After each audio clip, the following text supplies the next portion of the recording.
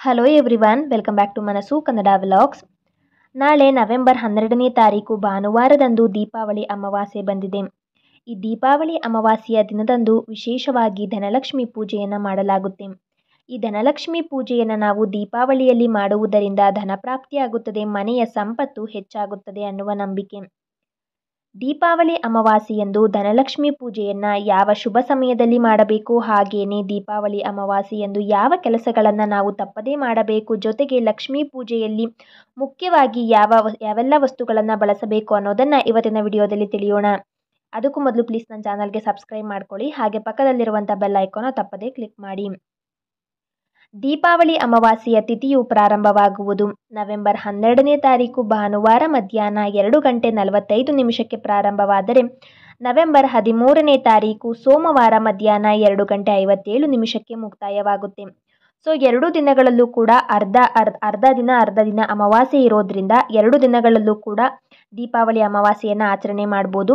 ಆದರೆ ದೀಪಾವಳಿ ಅಮಾವಾಸ್ಯೆಯ ಧನಲಕ್ಷ್ಮಿ ಪೂಜೆಯನ್ನು ನವೆಂಬರ್ ಹನ್ನೆರಡನೇ ತಾರೀಕು ಭಾನುವಾರ ಸಂಜೆ ಮಾಡೋದ್ರೇನೆ ತುಂಬಾ ಶ್ರೇಷ್ಠವಾದದ್ದು.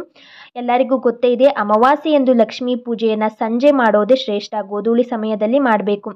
ಹಾಗಾಗಿ ಈ ನವೆಂಬರ್ ಹನ್ನೆರಡನೇ ತಾರೀಕು ಭಾನುವಾರ ಸಂಜೆ ಐದು ಗಂಟೆ ಇಪ್ಪತ್ತೊಂಬತ್ತು ನಿಮಿಷದಿಂದ ಎಂಟು ಗಂಟೆ ಎಂಟು ನಿಮಿಷದವರೆಗೂ ಕೂಡ ಶುಭ ಸಮಯವಿದೆ.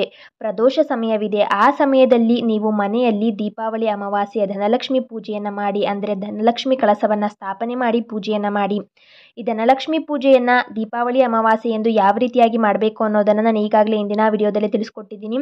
ಕಳಸ ಪ್ರತಿಷ್ಠಾಪನೆ ಮಾಡಿ ಯಾವ ರೀತಿಯಾಗಿ ಮಾಡಬೇಕು ಅಂತಲೂ ತಿಳಿಸಿದ್ದೀನಿ. ಹಾಗೆಯೇ ಸರಳವಾಗಿಯೇ ಒಂದು ಲಕ್ಷ್ಮಿ ಫೋಟೋವನ್ನು ಇಟ್ಟು ಯಾವ ರೀತಿಯಾಗಿ ಮಾಡಬೇಕು ಅಂತಲೂ ಕೂಡ ತಿಳಿಸಿದ್ದೀನಿ. ನವೆಂಬರ್ ಹನ್ನೆರಡು ಭಾನುವಾರ ಸಂಜೆ ಐದು ಗಂಟೆ ಇಪ್ಪತ್ತೊಂಬತ್ತು ನಿಮಿಷದಿಂದ ಎಂಟು ಗಂಟೆ ಎಂಟು ನಿಮಿಷದ ಒಳಗೆ ನೀವು ಧನಲಕ್ಷ್ಮಿ ಪೂಜೆಯನ್ನು ಮಾಡಿ. ಇನ್ನು ನವೆಂಬರ್ ಹನ್ನೆರಡು ಭಾನುವಾರದಂದು ಸಂಜೆ ಲಕ್ಷ್ಮೀ ಪೂಜೆಯನ್ನು ಮಾಡೋದಕ್ಕೆ ಆಗಲಿಲ್ಲ ಅಂತ ಅಂದರೆ ನವೆಂಬರ್ ಹದಿಮೂರನೇ ತಾರೀಕು ಸೋಮವಾರ ಬೆಳಗ್ಗೆ ನೀವು ಬ್ರಾಹ್ಮಿ ಮುಹೂರ್ತದಲ್ಲಿ ಧನಲಕ್ಷ್ಮಿ ಪೂಜೆಯನ್ನು ಮಾಡಿ. ಅದೇ ಅತ್ಯಂತ ಶುಭವಾದ ಸಮಯ. ಆದಷ್ಟು ನವೆಂಬರ್ ಹನ್ನೆರಡು ಭಾನುವಾರ ಲಕ್ಷ್ಮೀ ಪೂಜೆಯನ್ನು ಮಾಡೋದಕ್ಕೇ ಟ್ರೈ ಮಾಡಿ. ಅದೇ ದಿನ ಲಕ್ಷ್ಮೀ ಪೂಜೆಗೆ ಶುಭವಾದ ದಿನ. ಮನೆಯ ಒಳಗೆ ಲಕ್ಷ್ಮಿಯ ಪ್ರವೇಶ ಆಗಬೇಕು ಅಂದರೆ ಸ್ವಚ್ಛತೆ ತುಂಬಾ ಮುಖ್ಯವಾದದ್ದು. ಎಲ್ಲರಿಗೂ ಗೊತ್ತೇ ಇರುತ್ತೆ, ಸ್ವಚ್ಛತೆ ಅಂದರೆ ತಾಯಿ ಲಕ್ಷ್ಮೀ ದೇವಿಗೆ ತುಂಬ ಪ್ರೀತಿ. ಸ್ವಚ್ಛತೆ ಇರುವಂಥ ಜಾಗದಲ್ಲಿ ಆಕೆ ನೆಲೆಸುತ್ತಾಳೆ. ಗಲೀಜಾಗಿರುವಂಥ ಜಾಗದಲ್ಲಿ ಆಕೆ ಒಂದು ಕ್ಷಣ ಕಾಲ ಕೂಡ ನೆಲೆಸೋದಿಲ್ಲ. ಹಾಗಾಗಿನೇ, ಹಬ್ಬಕ್ಕಿಂತ ಮುಂಚಿತವಾಗಿಯೇ ಮನೆಯೆಲ್ಲ ಡಸ್ಟನ್ನು ತೆಗೆದು ಸ್ವಚ್ಛವನ್ನು ಮಾಡ್ಕೊಂಡಿರ್ತೀರ? ದೀಪಾವಳಿ ಅಮಾವಾಸ್ಯೆಯಂದು ಯಾವುದೇ ಒಂದು ಡಸ್ಟನ್ನು ಅಂದರೆ ಧೂಳನ್ನು ತೆಗೆಯೋದಕ್ಕೆ ಹೋಗಬೇಡಿ.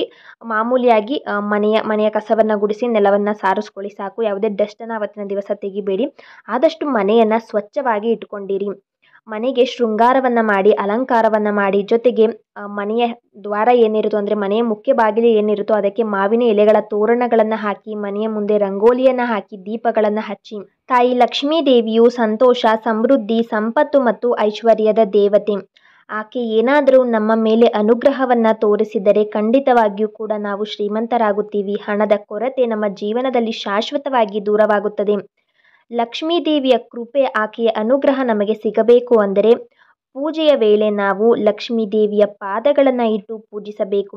ಚಿನ್ನ ಅಥವಾ ಬೆಳ್ಳಿ ಅಥವಾ ಯಾ, ಲೋಹದಿಂದ ಮಾಡಿದಂಥ ಪಾದಗಳನ್ನು, ಲಕ್ಷ್ಮಿಯ ಪಾದಗಳನ್ನು ಇಟ್ಟು ಪೂಜೆಯನ್ನು ಮಾಡಬೇಕು.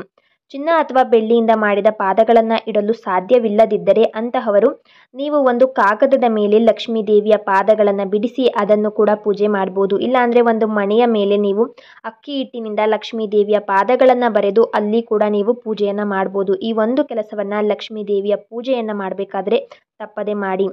ದೀಪಾವಳಿ ಅಮಾವಾಸ್ಯೆಯಂದು ಲಕ್ಷ್ಮೀ ಪೂಜೆಯ ಜೊತೆಗೇ ನೀವು ಶಂಕು ಮತ್ತು ಶ್ರೀಯಂತ್ರವನ್ನು ಕೂಡ ಪೂಜಿಸಬೇಕು.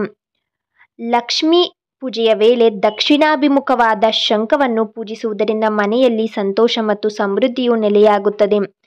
ಈ ಲಕ್ಷ್ಮೀ ದೇವಿಯು ಮತ್ತು ದಕ್ಷಿಣಾಮುಖದ ಶಂಕು ಸಮುದ್ರ ಮಂಥನದ ವೇಳೆ ಹುಟ್ಟಿಕೊಂಡರು ಅನ್ನುವ ನಂಬಿಕೆ. ಈ ಕಾರಣಕ್ಕಾಗಿಯೇ ದಕ್ಷಿಣ ಮುಖದ ಶಂಖವನ್ನು ಲಕ್ಷ್ಮಿಯ ಸಹೋದರ ಅಂತಲೂ ಕೂಡ ಹೇಳ್ತಾರೆ. ಹಾಗಾಗಿ ಲಕ್ಷ್ಮಿಯ ಪೂಜೆಯ ವೇಳೆ ಶಂಖವನ್ನು ಇಟ್ಟು ಪೂಜಿಸಿ ಶಂಕುನಾದವನ್ನ ಮಾಡಿ ಜೊತೆಗೆ ಶ್ರೀಯಂತ್ರವನ್ನು ಕೂಡ ಪೂಜಿಸಿ. ಇದಿಷ್ಟು ಕೆಲಸವನ್ನು ಕೂಡ ದೀಪಾವಳಿ ಅಮಾವಾಸ್ಯೆಯಂದು ಧನಲಕ್ಷ್ಮಿ ಪೂಜೆಯನ್ನು ಮಾಡಬೇಕಾದರೆ ತಪ್ಪದೆ ಮಾಡಿ ಖಂಡಿತವಾಗಿಯೂ ಕೂಡ ಧನಲಕ್ಷ್ಮಿ ಪೂಜೆಯನ್ನು ಅದರಲ್ಲೂ ವಿಶೇಷವಾದ ದೀಪಾವಳಿ ಅಮಾವಾಸ್ಯೆಯಂದು ಸಂಜೆ ಸಮಯದಲ್ಲಿ ತುಂಬಾ ಭಕ್ತಿಯಿಂದ, ಮಡಿಯಿಂದ ಮಾಡಿದರೆ, ಸಂಕಲ್ಪವನ್ನು ಮಾಡಿಕೊಂಡು ಮಾಡಿದರೆ ಖಂಡಿತವಾಗಿಯೂ ಕೂಡ ನಿಮ್ಮ ಸಂಕಲ್ಪವು ಈಡೇರುತ್ತದೆ. ಈ ವಿಡಿಯೋ ನಿಮಗೆಲ್ಲರಿಗೂ ಇಷ್ಟ ಆಗಿದ್ದರೆ ಪ್ಲೀಸ್ ಲೈಕ್ ಅಂಡ್ ಕಮೆಂಟ್ ಮಾಡಿ. ಇದೇ ರೀತಿ ಮತ್ತಷ್ಟು ಮಾಹಿತಿಗಳೊಂದಿಗೆ ಮುಂದಿನ ವಿಡಿಯೋದಲ್ಲಿ ಸಿಗೋಣ.